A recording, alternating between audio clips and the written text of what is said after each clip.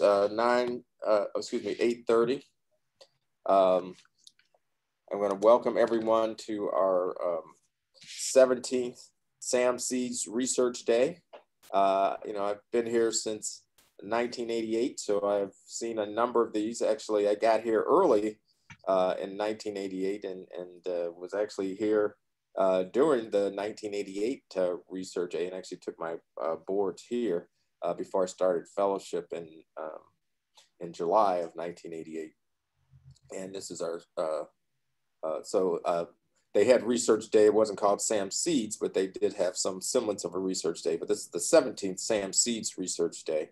Uh, and uh, uh, Sam Seeds, as many of you know, and many of you actually who are on this uh, um, program today, watching the program, uh, knew Sam Seeds. He was our, if I remember correctly, I just wrote the history, updated the history on our website.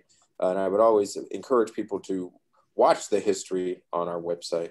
Uh, Sam Seeds was our third uh, chair of obstetrics and gynecology. And uh, uh he came from East Coast. I think he came from Harvard program, if I remember correctly. And He was chair from 1975 until his untimely death in, in Eden Park uh, in 1980. Uh, he was a maternal fetal medicine specialist who helped to bring our department and worked on um, uh, the uh, increasing and, and, and bettering the clinical skills uh, area of uh, maternal fetal medicine and had over 50 papers to his name before his death. Uh, today, we've had a number of, of speakers from all different divisions. And Dr. Adashi is our 17th speaker since the Sam Seeds Research Day was started. Dr uh, Eli Adashi and I have known each other uh, since I was a fellow. Uh, he and I sort of came through uh, our pedigree. It, it's all, almost the same. He actually uh, came uh, into reproductive medicine and reproductive endocrinology through the Johns Hopkins program with Georgeanna and Howard Jones, and then also worked with Sam Yen, who my mentor, Dr. Bob Rebar, worked with um, um, in, at UC San Diego, as well as working with uh, Aaron Shui. Uh, and then at some point became the uh, now former chair uh, at University of Utah, then uh, chair at Brown University, and the fifth dean of medicine and Bio- biological sciences at Brown University. He's been president of uh, Society of Reproductive Endocrinology, SGI, now SRI, and uh, AGOS uh, in the past. And uh, we are very lucky uh, to have him here. He is now a professor of, of medical science at Brown and fa- on faculty uh, for the Center for Prisoner Health and Human Rights. And uh, today, Dr. Adashi is going to give a talk on the Belmont Report at 40, the resetting of human subject research. Dr. Adashi, welcome back to the University of Cincinnati. Thank you very much, uh, Dr. Thomas. It's a real pleasure to visit with you virtually, although I would have loved to be there in person. I can confirm what Dr. Thomas said in the sense that um, I probably first met him when he was a fellow in training uh, at the University of Cincinnati when Dr. Rebar was the chair of the department, but we have stayed in touch ever since, and I've seen him grow and grow and grow. And of course, the future holds uh, significant promise and significant positions of leadership for him in store. I also wanted to say a few words about Sam Seeds, although I did not ultimately meet him in person. But as Dr. Thomas briefly mentioned, Dr. Seeds uh, was a native of Baltimore who earned his bachelor and medical degrees at Stanford he ultimately came back east to do his residency training at Johns Hopkins. And it is from there that he moved initially to the University of Minnesota, from where he proceeded to join your department in the mid 70s. I was finishing my fellowship training uh, in the late 70s. And in the process of looking for a faculty position, I wrote to Dr. Seeds in the late 70s, as I mentioned.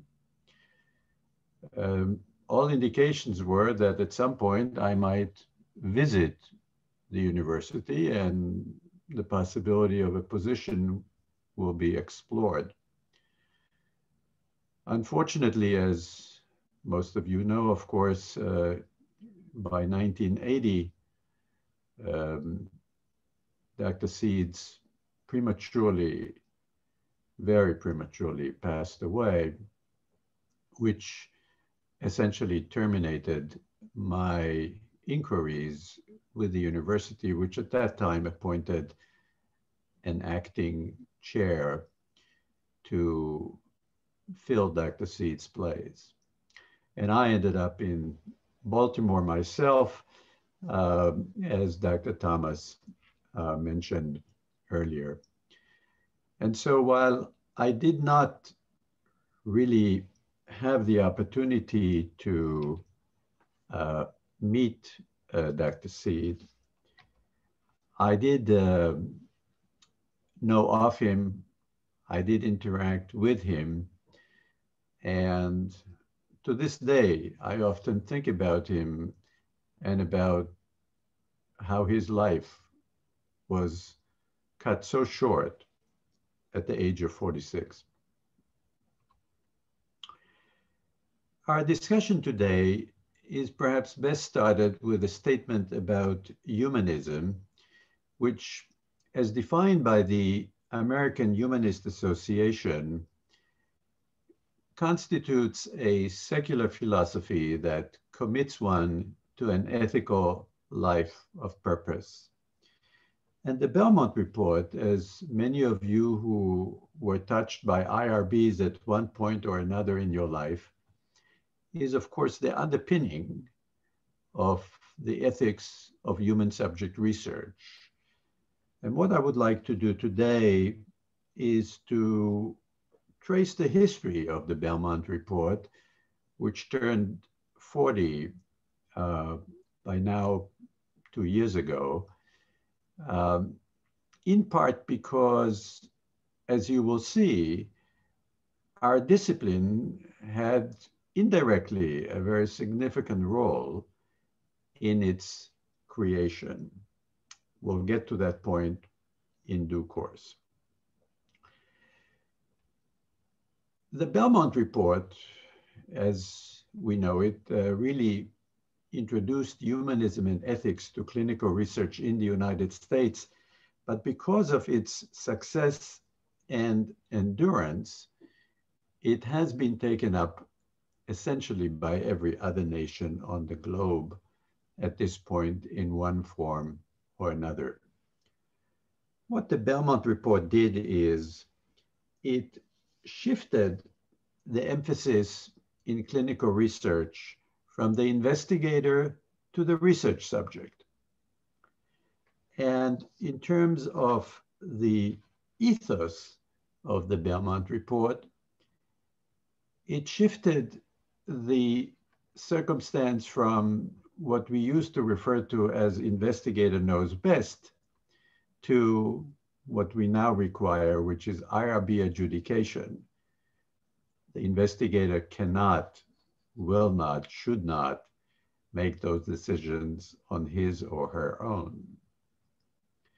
And finally, the Belmont Report shifted the ethics of human subject research from the utilitarian variety to its deontologic counterpart, which is to say, from a view that morality is really all about outcome, namely that the risk is worth the insights gained, to a view wherein morality is really subject to an ethical code, namely the risk is not worth the insight gain. The human subject who participates in human subject research should come first. Which brings us to a famous quote, uh, which reads, ethics and science need to shake hands. In a word, science without ethics is really not worthy of our complete uh, support and trust. This quote uh, is attributable to Richard Clarke Cabot, who served as the chair of the Department of Social Ethics at Harvard University and can be found in the introduction to his book, 1933 book, titled The Meaning of Right and Wrong. When you stop and think about it, titles don't get much better than that. But what Professor Cabot had in mind is that when science and ethics collide, and they do all the time, and we will discuss this, of course, today, one should call in, if you will, the bioethics brigade and let it adjudicate the conflict. Now, that is a statement that was made in the 30s, uh, and in many ways, therefore, was well ahead of its time. In a sense, what Dr. Cabot called for is to arrive at what he thought of as a moral right or a moral code that we can all abide by. Now, the search for such a moral code has been underway for far longer than most of us appreciate. The Belmont report was published in 1978 and then issued in final form in 1979. But there have been many efforts, or several efforts anyway, that preceded its establishment. As I mentioned earlier, because of its success, endurance, and utility, the Belmont report became the norm but it was preceded by a number of earlier efforts that in many ways paved the way for the Belmont report. The first so-called ethics code in human subject research was the so-called Prussian Directive, which dates back to 1900. It was followed in 1931 by what is known as the Weimar Guidelines, and in 1947 by what is known as the Nuremberg Code. We will, of course, elaborate on all of those. In 1964, we were all treated to the Declaration of Helsinki, about which I'm certain most of you have, of course, heard and learned about. And then and only then did it actually come to the Belmont report, which was made in the USA, but in some ways built on some of these predecessors. The Prussian directive was really titled instructions for the directors of clinics, outpatient clinics, and other medical facilities. It was the product of the Kingdom of Prussia, which was then ruled by German Emperor and King Wilhelm II. In many ways, this directive was foundational and foresighted in that it introduced the principle of respect for persons, which survives to this day, and the precept of informed consent. Imagine that as a binding legal construct. And that goes back to 1900.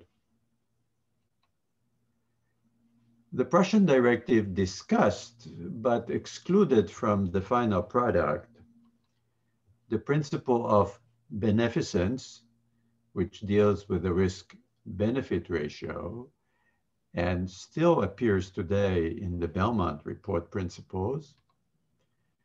The principle of justice, namely the notion of vulnerable subjects, another principle that survived to be included in the Belmont Report.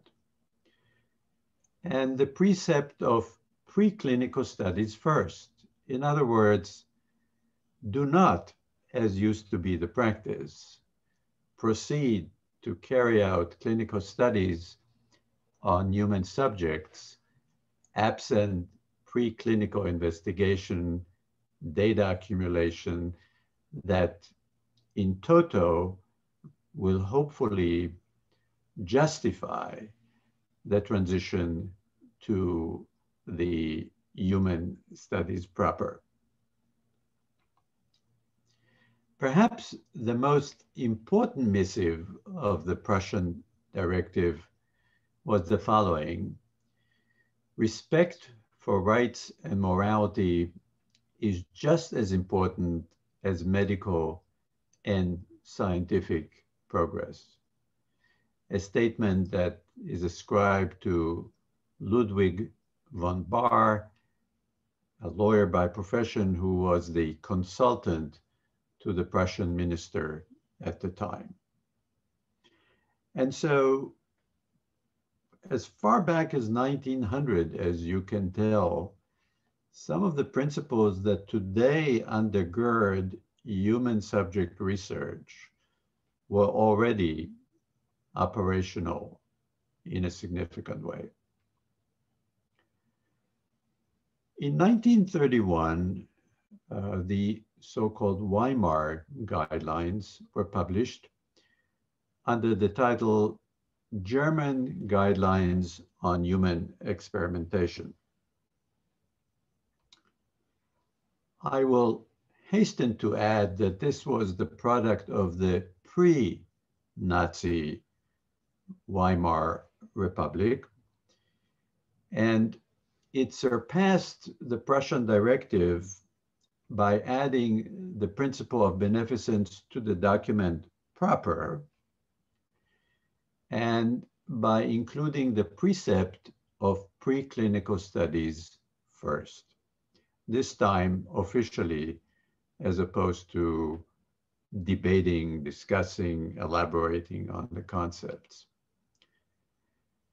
They also introduced the requirement of a detailed study protocol, which to us today may seem as self-evident and perhaps um, uh, obvious, but everything at some point has to come to the fore and that happened for the first time with the Weimar guidelines. The Weimar guidelines discussed but excluded from the final product the notion of institutional review boards, which of course you're all familiar with and are so central to contemporary human subject research. It also excluded but considered the distinction between non-therapeutic and therapeutic research, a concept I will come back to a little bit later because it did continue to plague uh, human subject research in the United States well into the 60s and even the early 70s. That is today a no-no, but we will elaborate on that shortly. The import of the Weimar guidelines notwithstanding, the Weimar guidelines, not unlike the Prussian directive, were largely discounted by the medical establishment of the day on the grounds that, quote, abuses are rare, end quote, and that, quote, investigators know best, end quote. It is particularly the latter statement that characterized human subject research prior to the establishment of the Belmont Report, for example, in the United States. Doctors, as you know, were held in high esteem. Their word was final. And doctors themselves uh, were under the impression or under the conviction that uh, clinical research is something they ought to be in control of, as opposed to be subject to review by an IRB, for example.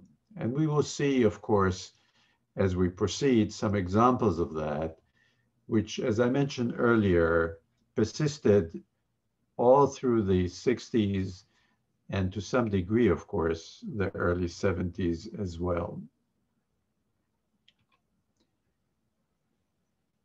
The Weimar guidelines, though, technically were in force through 1945. They were, of course, relegated before too long to bearing silent witness to the indescribable atrocities of the Nazi era between 1933 and 1945. It was an unfortunate historic coincidence that otherwise enlightened guidelines in the pre-Nazi Weimar Republic were relegated to non-existent or worse during the 12 years during which the atrocities of the Nazi regime were carried out. Which brings us to the Nuremberg Code in 1947, which in so many ways concludes the uh, atrocities of the Nazi era. And the Nuremberg Code, as you might imagine, was the product of the Nuremberg doctors' trial for crimes against humanity. These were German physicians who, during the Nazi era, broke every conceivable rule, committed every conceivable atrocity you can think of, and were on trial for crimes against humanity, not least of which, of course, the systematic extermination of six million victims, uh, mostly but not exclusively of Jewish extraction. The Nuremberg Code added to earlier codes the precept of scientifically qualified personnel. The right of research subjects to withdraw from a clinical study if they so choose, and the obligation of principal investigators to discontinue a study if warranted. That brings to mind today's equivalent, which is or would be the data monitoring committee, which is often attached to large clinical studies, a committee that has the authority, if it deems it appropriate, to discontinue a clinical study for one reason or another, not infrequently because of ethical concerns. Jay Katz, who was the Elizabeth Dollard Professor of law, medicine, and psychiatry at Yale University and was a distinguished scholar of human subject research, offered that the Nuremberg Code was remarkable in that the judges, in the most uncompromising language, suggested that the tensions between progress in medical science and the inviolability of research subjects must be resolved in favor of respect for the person, his or her self-determination and autonomy. In other words, at the center of human subject research is the human subject.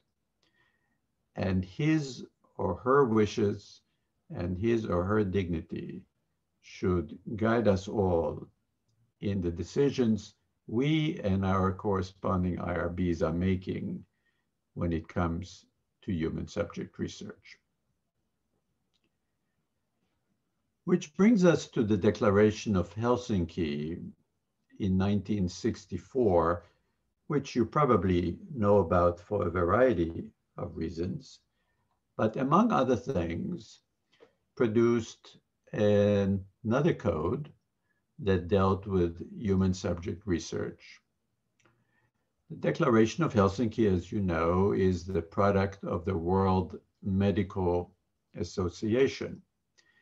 And the general principles that it espoused at the time included respect for persons, which still exists in the Belmont Report, beneficence, which is very much still in the Belmont Report, and justice, which likewise remains a keystone of the Belmont Report. They also delved into the distinction between therapeutic research, that is to say, research conducted as part of medical care, albeit absent IRB adjudication, and research that is done under the auspices of a well-supervised uh, IRB. As we will come back to and witness the circumstances in the United States in the late, all the way through the late 60s and early 70s, we will realize that the residues of so-called therapeutic research, that is to say, research that is decided upon and carried out by physicians who quote unquote know best, as was so prevalent an attitude at the time, um, is something that today, of course, should be condemned, abandoned, and replaced by IRB adjudicated human subject research. Therapeutic research may well have given rise to past calamities such as the thalidomide affair. You may recall that physicians, especially in Europe, distributed uh, where the, uh, physicians in Europe received samples of thalidomide from the manufacturer and tested it out on pregnant subjects, resulting in multiple cases of phocomelia. The United States largely, but not entirely, escaped this circumstance in that samples were distributed in the United States as well and given to a number of pregnant subjects in the United States as well. A small number of children with phocomelia were born in the United States. A legal case followed. But overall, in relative terms, the United States was spared the thalidomide disaster.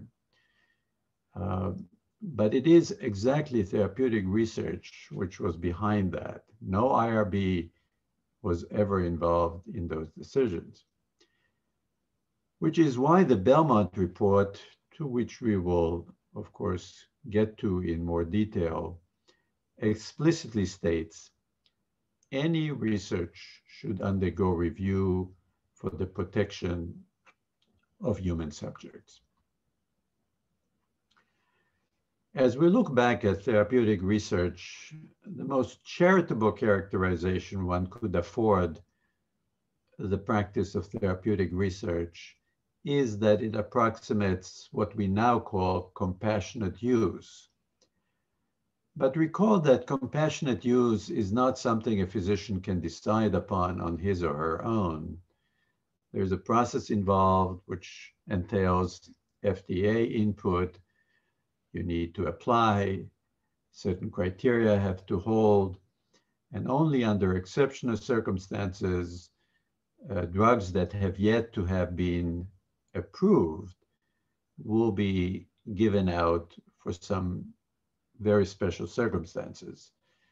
So the similarities end there, but for a while there, as I said, all the way into the early 70s, therapeutic research dictated and carried out by physicians uh, was the norm of the day. Which brings us to the Belmont report, which, as I mentioned earlier, uh, saw permanent press in 1979, although it was released in 1978 um, in an earlier format. This might be an appropriate time for you to raise the question, why another code? We have just discussed a whole host of codes, what, what justifies the genesis of yet another code? And especially why a US code? Why couldn't we just rely on the Helsinki Declaration, for example, or some of its predecessors?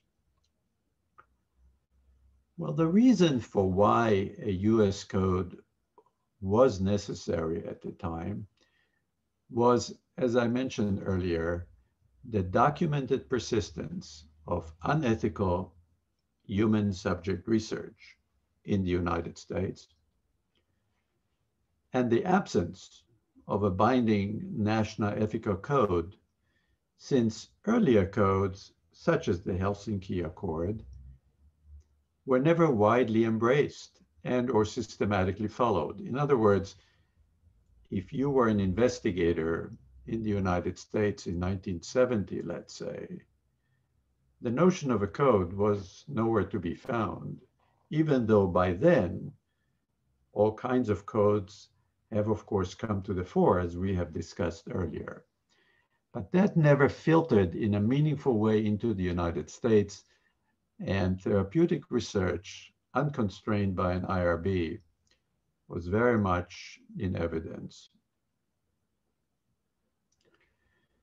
The reality of this type of unethical research in the United States came probably first to our collective conscience through the work of Henry Beecher from Boston, who was the chair of anesthesia at Harvard Medical School.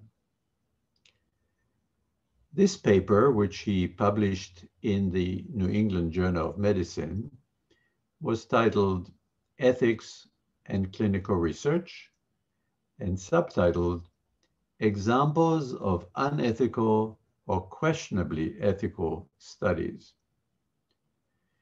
In this paper, Professor Beecher described 23 of 50 such documented studies that he was able to summon.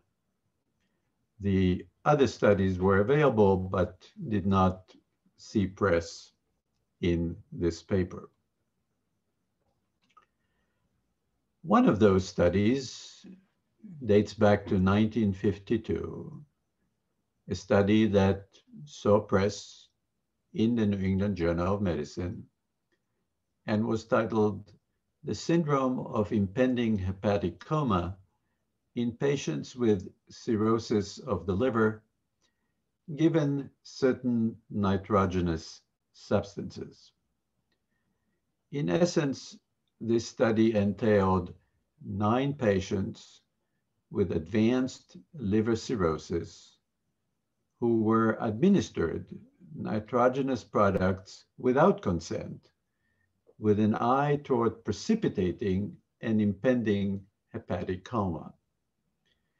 In other words, it wasn't the welfare of the patients that dictated the study, but rather the question presented by the investigators, which of course constituted what we called at the time therapeutic research, research unapproved by any ethical board. Not all that long after that, the front page of the New York Times described on January the 21st, 1964, what became to be known as the Cancer Immunity Study. That study involved the administration of cancer cells into non-cancerous patients without their consent during the experiments.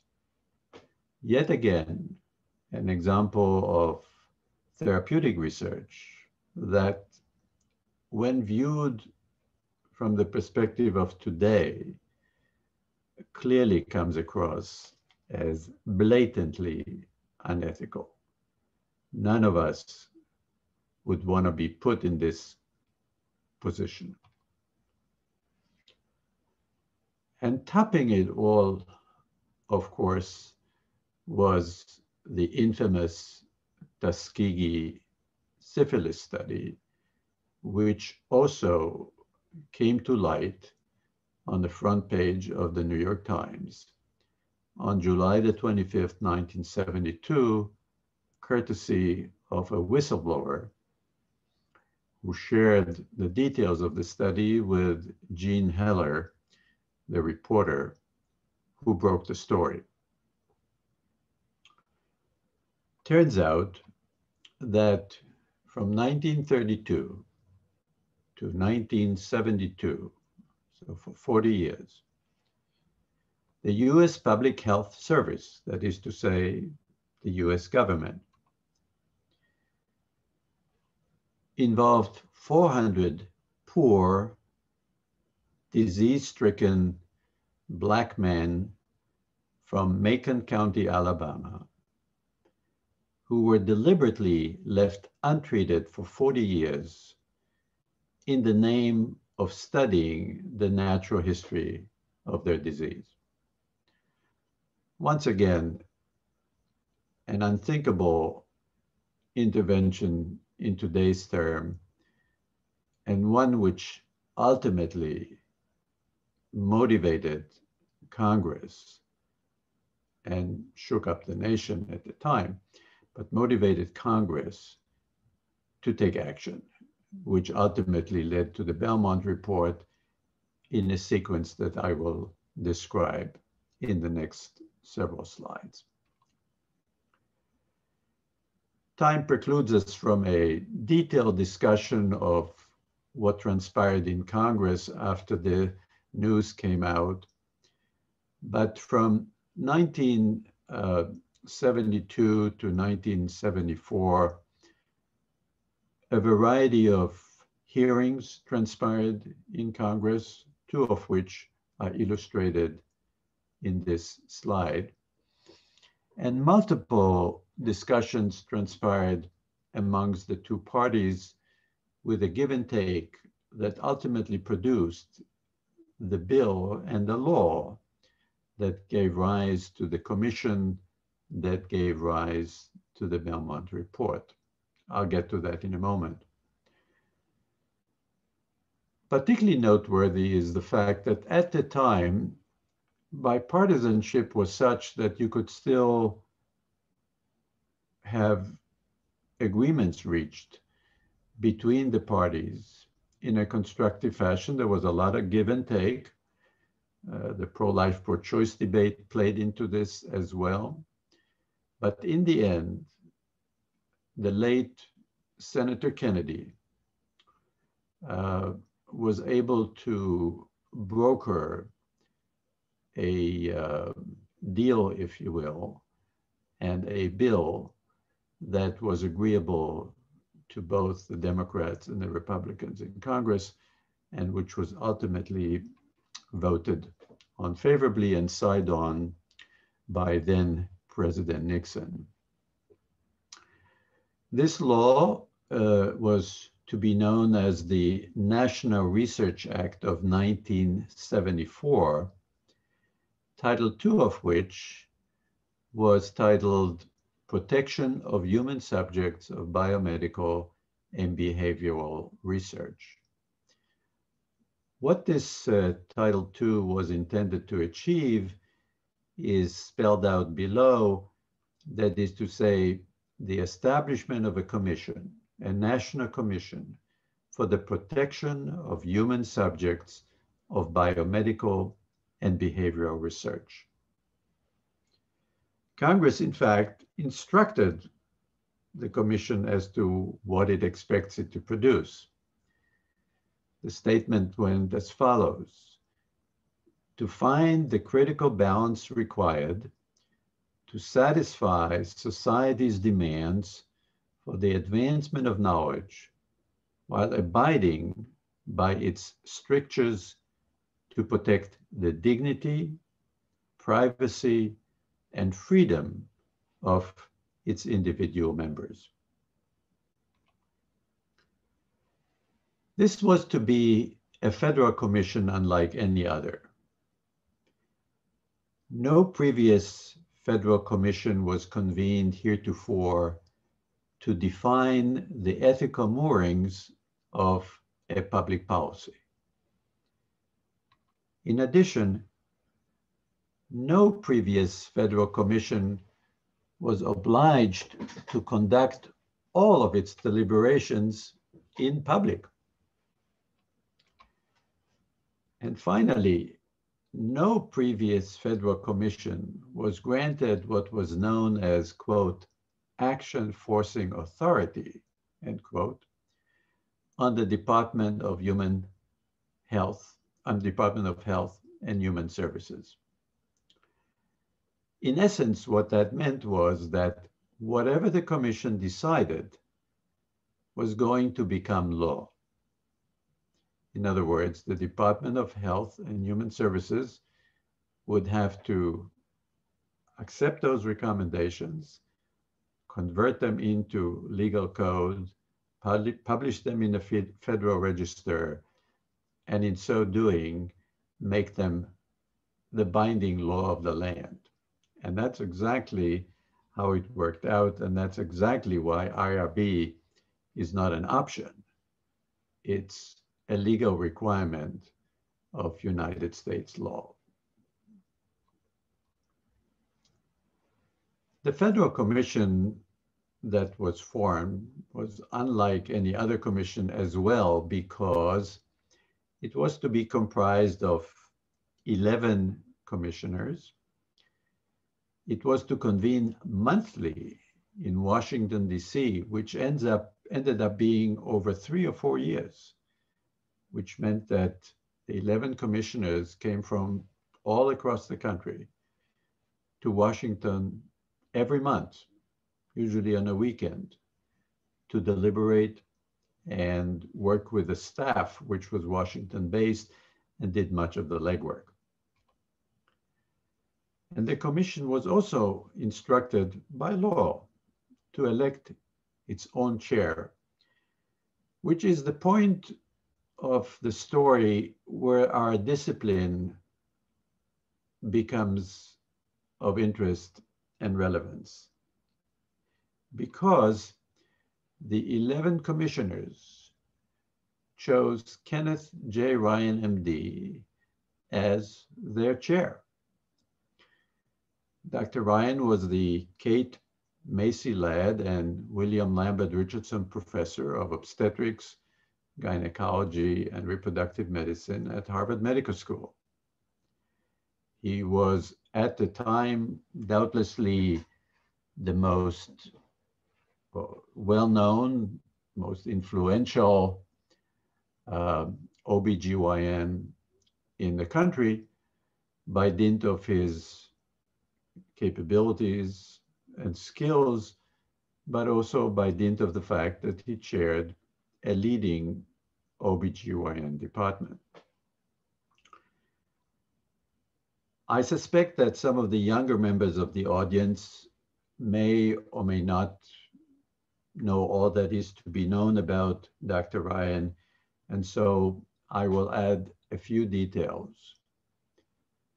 Dr. Ryan was double boarded in medicine and obstetrics and gynecology.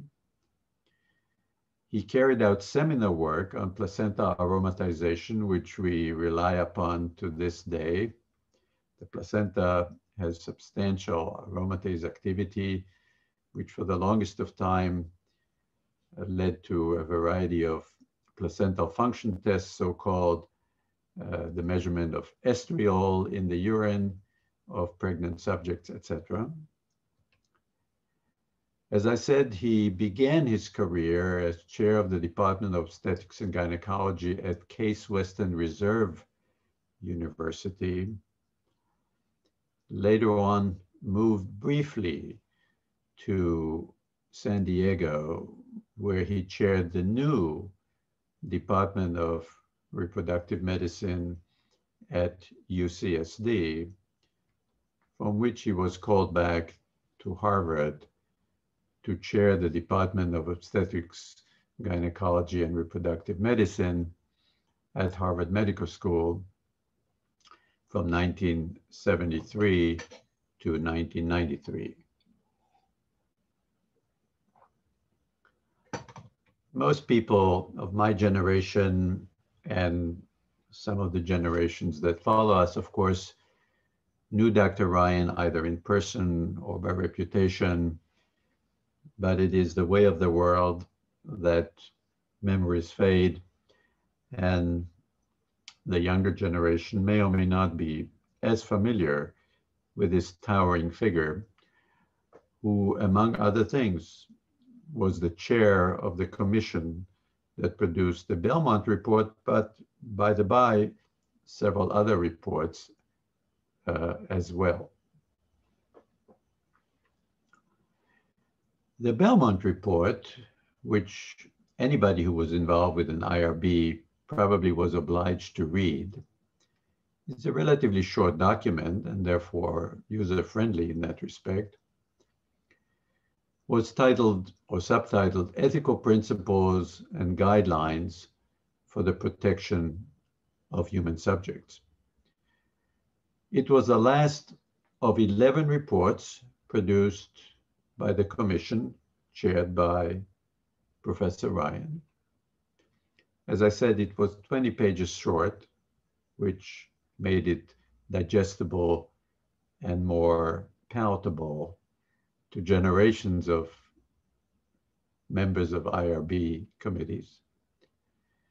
And as I mentioned probably now more than once before, even though it's so press in 1979, it was first released on September the 30th, 1978. It would be natural for you and for anybody else to inquire as to what's in the name. Why the Belmont report? The answer to which is, rather, is, is rather prosaic. Uh, the report was named after a retreat that the commission undertook um, it was held by the commission in a, an estate, which was known as the Belmont Estate. Um, it was in Elkridge, Maryland, so not too far from DC. Uh, and at the time, at least, was maintained by the Smithsonian Institution. In other words, it was a venue used by many for meetings, retreats, and the like. And this particular retreat, which ultimately led to the Belmont report, transpired uh, on February the 13th through the 16th of 1976. For your edification, I'm sharing here a photograph of the Belmont estate, uh, which the Smithsonian owned and operated at the time for the purposes I described. Uh, it has since, to my knowledge, been, the property has since, to my knowledge, been transferred to the, to Howard County in Maryland, which is the county where the Belmont estate can be found. And I hear through the grapevine that some sort of a museum may be in the making, not just on account of the Belmont report, but on account of other important activities that transpired there, plus the historic value of the estate um, and some of the stories that it can tell. But back to the report. As any of you who participated in an IRB knows, the leading principles of the Belmont Report are one, respect for persons, that is to say, respect for autonomy and the requirement of an informed consent before a subject joins a research project. The principle of beneficence, or as some would prefer, non-maleficence, which deals with the risk-benefit ratio and which takes into account the kind of population that one is dealing with and is taking into consideration particularly vulnerable population, be they children, pregnant subjects, individuals who are subject to um, psychiatric disease, etc. And ultimately, of course, is the question of justice, individual and social, which deals with the vulnerable populations I mentioned. And uh, those three principles combined undergird and have served us well in human subject research since the publication of the report now approximately 40 years ago. Perhaps the most noteworthy point about the Belmont report is its staying power. And you have to ask yourself, why? After all, it's been a long time. Uh, hasn't been replaced by any other report. There have been no calls to replace it with a different paradigm. And the likelihood is that the report, which, as I mentioned earlier, became the law of the land, was accompanied by yet another report of the commission, an IRB report. And this um, premonition or, you know, ability to foresee the future on the part of the committee is really probably what accounts for the longevity and success of the IRB concept and the Belmont principles. It's not as if the Belmont principles was reported in isolation.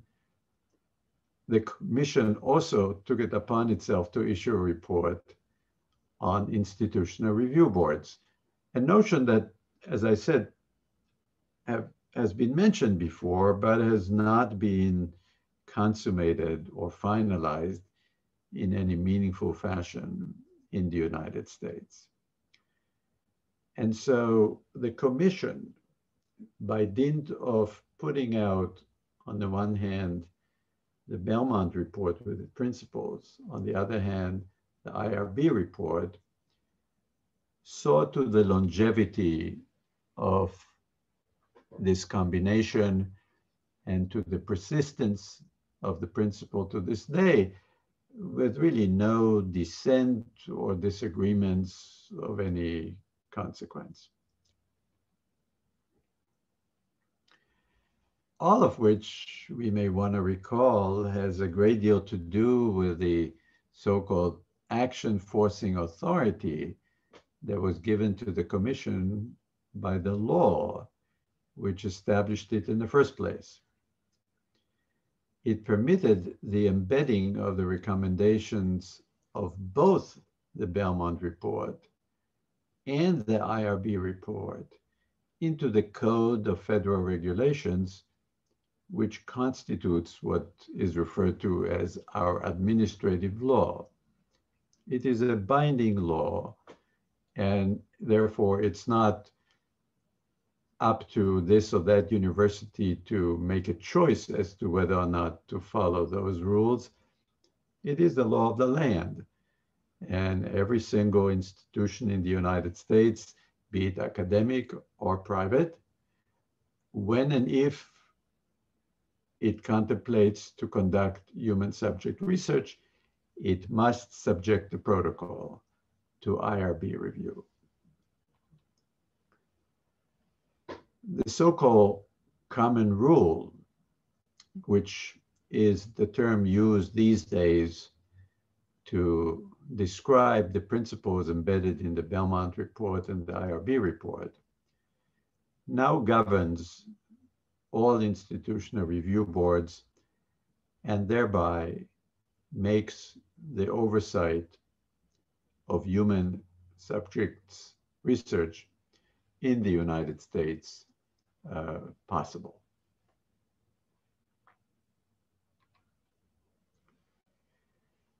I note for the sake of completeness that this and the entirety of this operation is overseen at the governmental level by the Office for Human Research Protections, or OHRP for short an agency that is part of the Department of Health and Human Services. Uh, OHRP in its present form was created in 2000. However, it had a temporary predecessor, if you will, which was known as the Office of protection from research risks, a term that has since been abandoned in favor of the Office of Human Research Protections. OHRP, which is headed today by a gentleman who is both a physician and a lawyer, reports to the Assistant Secretary for Health which is commonly abbreviated ASH, uh, ASH, which is a level below the Secretary of Health and Human Services.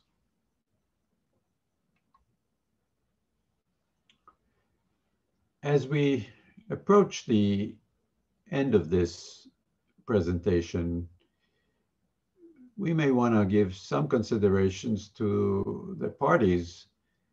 We all should give thanks to and recognize in the context of this collective national effort that was finally prompted by the uh, infamous Tuskegee experience and which led to the formation of the commission and which led to the Belmont and IRB reports.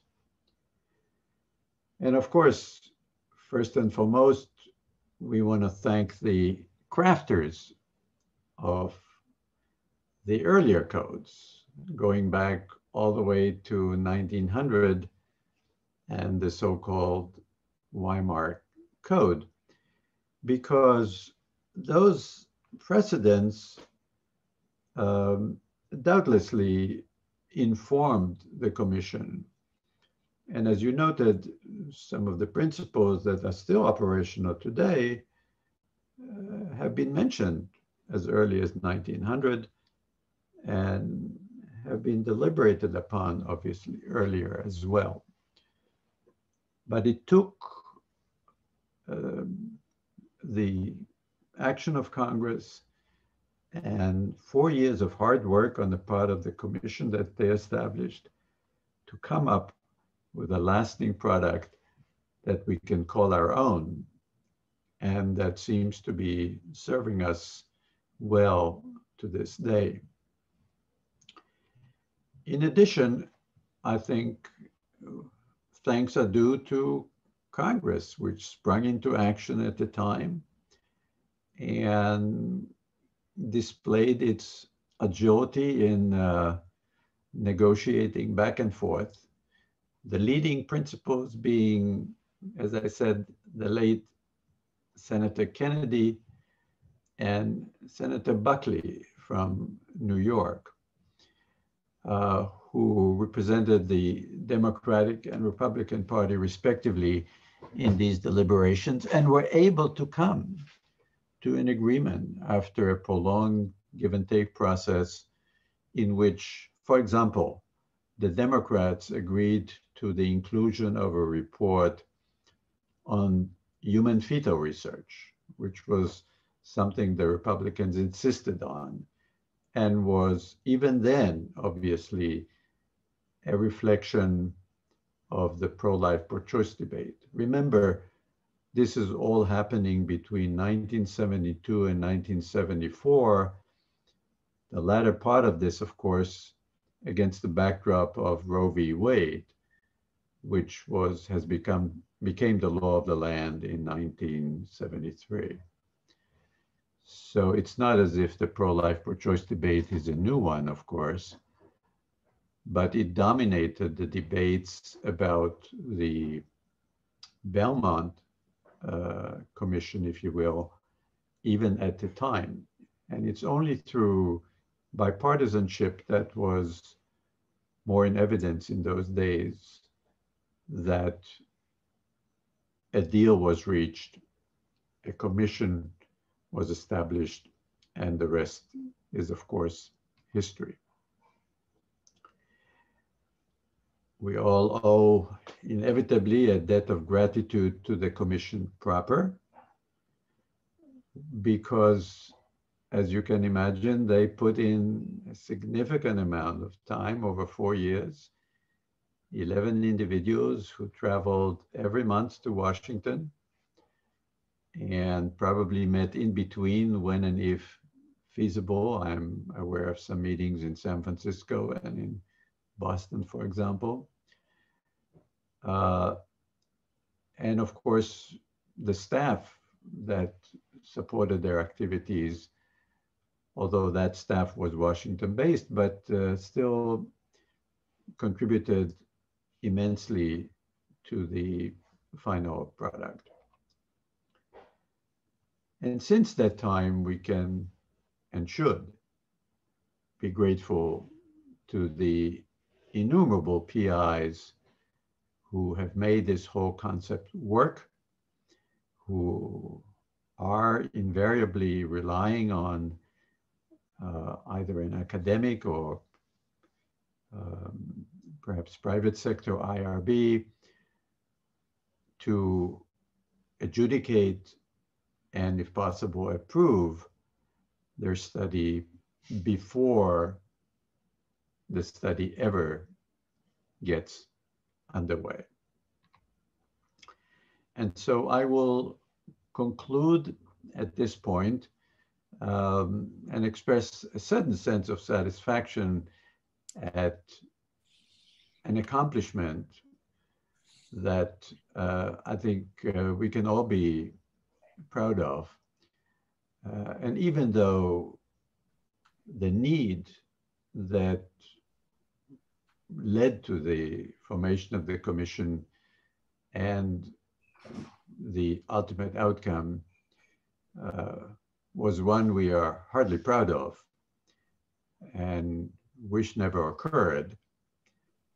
It nevertheless served the purpose of finally moving Congress into action and creating a better situation here that no longer permits, hopefully, unethical human subject research. And in the context of your research day, you may wish to keep in mind the fact that at least a significant portion of this accomplishment is attributable to a person of our discipline who may no longer be, be with us, but who made a monumental contribution to this effort and without whose leadership um, this undertaking probably would not have been uh, concluded.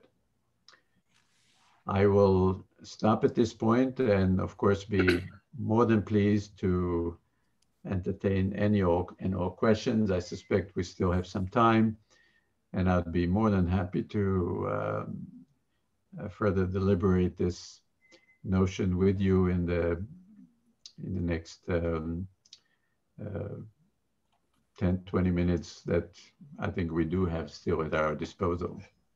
Yes, we do have some time to ask Dr. Uh, Dashi some questions, and uh, please either uh, send them in the chat, and I'm monitoring the chat, or you can come on live to ask any questions uh, uh to Dr. Adashi that we have over the next uh, 10 to 15 minutes, and then we're going to take a break before starting the research presentations with Dr. Zarni at 10 a.m. I guess the first question I would have, Dr. Adashi, is there a need to have a Belmont 2 uh, mm-hmm. session uh, in order to talk about the next uh, iteration of, um, of uh, you know, what uh, uh, the IRBs should be doing at this point? What are your thoughts? I think it's an excellent question, Dr. Thomas. Um, I don't sense or hear calls for uh, improving or polishing or replacing the current product, although that does not invalidate in any way the wisdom of your question.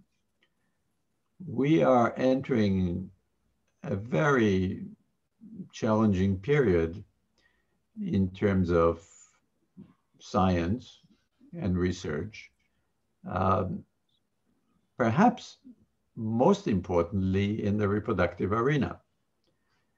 Um, IVF in many ways was just the beginning. As I reflected briefly with Dr. Thomas before we began, we are in the throes of considering uh, the phenomenon of stem cell derived gametes for example, which will present challenges that, of course, could not have been foreseen by the Belmont Commission. We are looking at many other breakthrough technologies in the context of uh, reproduction. Um, there are early efforts to uh, resort to embryo biopsies, not only to predict implantation potentials, aneuploidy and the like, but also to actually project um, various um, health parameters uh, into the future with an eye towards maximizing the health of potential progeny. The science of predicting future disease is moving very quickly. And the notion of applying it to the pre-implantation embryo is taking hold relatively quickly as well. There is significant progress, as you know, in um, embryo research, in the formation of so-called artificial embryos using stem cells in vitro. The International Society for Stem Cell Research just, just revised its criteria for research and extended the 14-day rule for human embryo research to 28 under certain circumstances, 28 days. In a word, much is happening in our world. The notion of ectogenesis or pregnancy outside the womb has received a significant boost through a recent set of papers in Nature. And there are other unbelievable, in a way, possibilities that are coming to the fore that could not have been envisioned by the crafters of the Belmont report. Whether or not these challenging projects, ethically challenging projects, can be successfully met by the existing construct is really what we need to debate. But if we come to the conclusion that the current construct is insufficient to meet the new challenges of human subject research, and we are talking about pre-implantation and very early gestational human subject research, which may in fact take us back to some other reports of the Belmont Commission because they did report on human fetal research at the time. Uh, taking all of that into account by a thoughtful group, I think, is a reasonable proposition and one that I think ought to be considered. And if that particular group agrees or believes that the current system is insufficient to meet future needs, then by all means, uh, perhaps a revision uh, as opposed to a wholesale abolition uh, is called for. Um, I don't hear much out there in that respect, but not unlike Dr. Thomas, I'm very sensitive to all that's happening in human reproduction today, which is really where the front line is in ethical human subject research.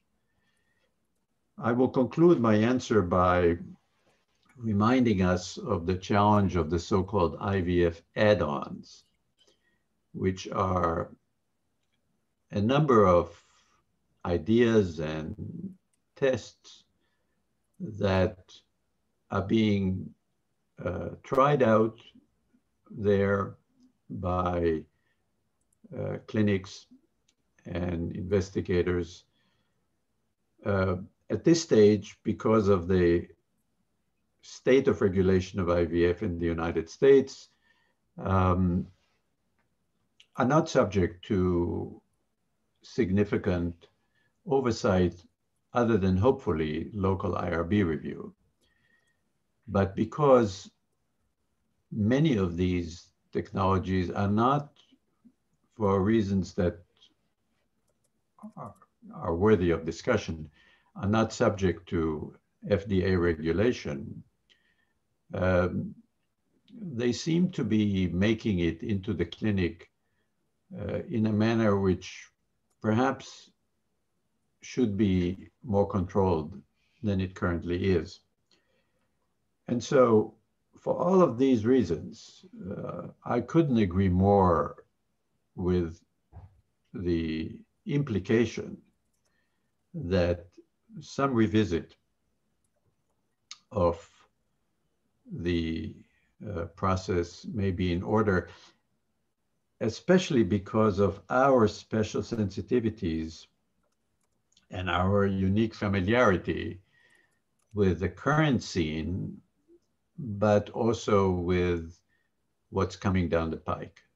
And what is coming down the pike is rather novel and advanced, and obviously at the time, unthinkable.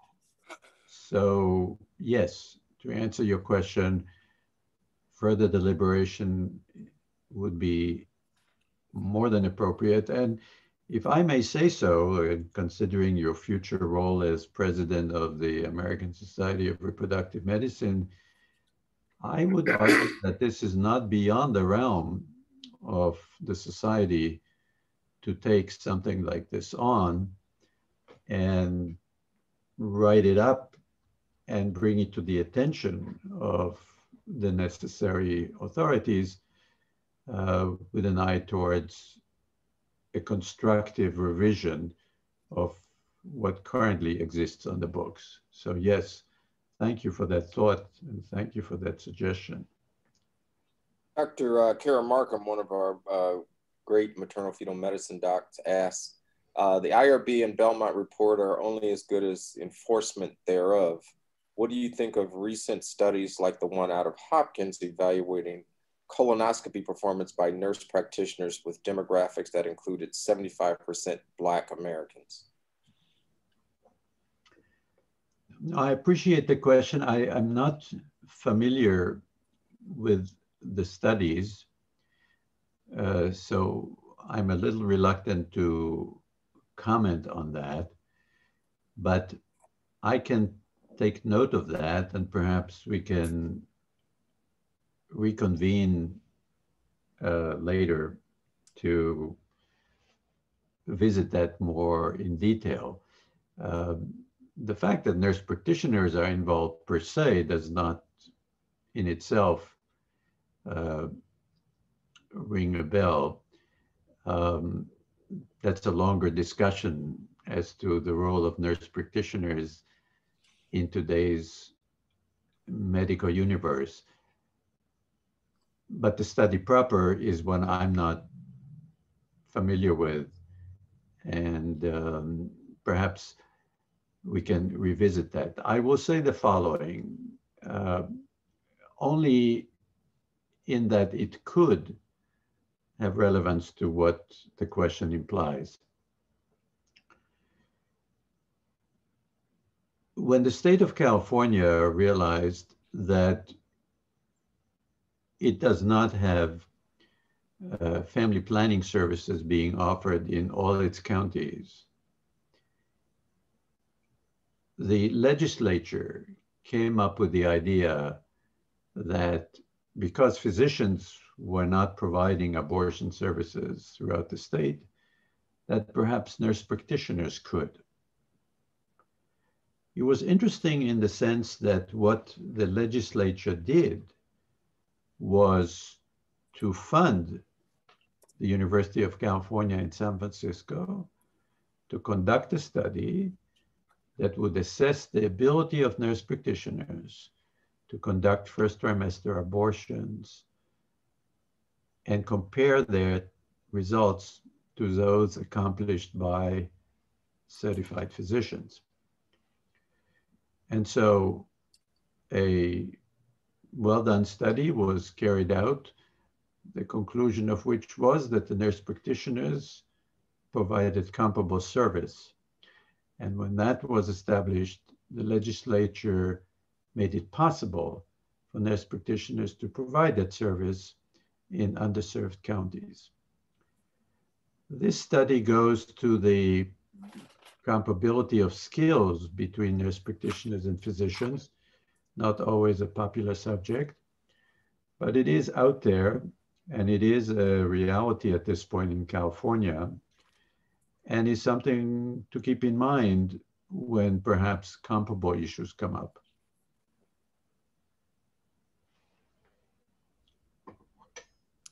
I uh, really like to, uh, we have one more um, I, that uh, one more uh, question. The question, I guess, I would uh, want to ask if if a study was being performed. I'm kind of paraphrasing what was uh, sort of brought up. If a study was being performed these days that limited its um, uh, focus to one demographic of the population, uh, is that a study that is necessarily an appropriate study and uh, is is the IRB uh, is uh, should we be trying to uh, make sure that we are researching uh, as much of the entire demographic of that community uh, as possible in order to make it a better study. I hear you. I think so. I think if if the focus is not somehow scientifically warranted, meaning let's say we are dealing with disease that is unique to a particular group, um, then yes, uh, by all means, we should embrace a diversity of research subjects. I still have fundamental confidence in the ability of the IRB to adjudicate an issue along these lines. I'd like to hope that, first of all, that the IRB in most institutions, hopefully, is sufficiently diverse to recognize issues along these lines and or if necessary to bring in expertise from the outside that could expand its ability to make judgments on issues where it doesn't have perhaps the necessary expertise. But uh, without knowing much more about the specifics of the issue, uh, there's little question but that uh, embracing diversity is uh, and should be an overriding principle that I think most of us can come around. Um, uh, I would be interested in seeing more about the study in question. Um, uh, it seems to be raising several issues, perhaps more than one. Um, I'd like to hope that that study did go through an IRB. I'd like to hope that the treatment of that study was thorough, but of course I don't have firsthand information or insight to assess that our, our last question is from our director of our IRB. We have a very superb IRB staff, and they are on top of everything. I, I must admit, because you know uh, they they do a good job in in making sure that things are done appropriately and that uh, uh, we are uh, continuing to give uh, notice uh, when appropriate. but Dr. Link, the director of our IRB, asked a question. there is a movement to include pregnant women in more studies. The exclusion of pregnant women has been related to the principles of the Belmont Report. How do you feel about expanding the inclusion of pregnant women in studies? Well, thank you for that question. And thank you, Dr. Ling, for serving in this important and uh, not infrequently challenging role. Sounds like this is one of those circumstances where the challenge is real. Um, obviously, the notion of pregnancy studies was dealt with by the commission. Uh, pregnant subjects were often mentioned as um, vulnerable subjects, and that notion, I'm sure, is still holding today. But uh, pregnant subjects uh, are, after all, uh, individuals who carry a precious cargo. And if there's anything productive, constructive that we can do to rectify um, and which requires a study, as long as it's not a harmful study, um, I would certainly entertain the possibility examine all the facts very carefully and determine whether or not the benefits dramatically uh, outweigh the risks.